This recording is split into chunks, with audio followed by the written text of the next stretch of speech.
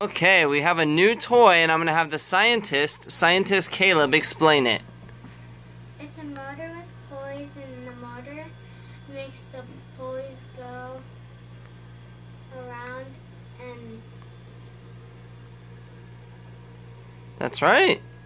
And when it hits the end stop, it hits a reverse switch. And that's how it's going back and forth, huh? mhm. Let's go look, take a closer look at it, okay, scientist Caleb?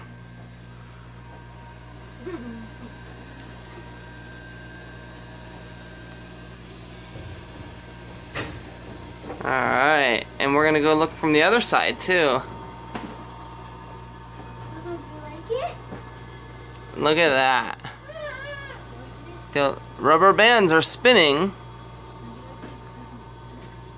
And then, boop.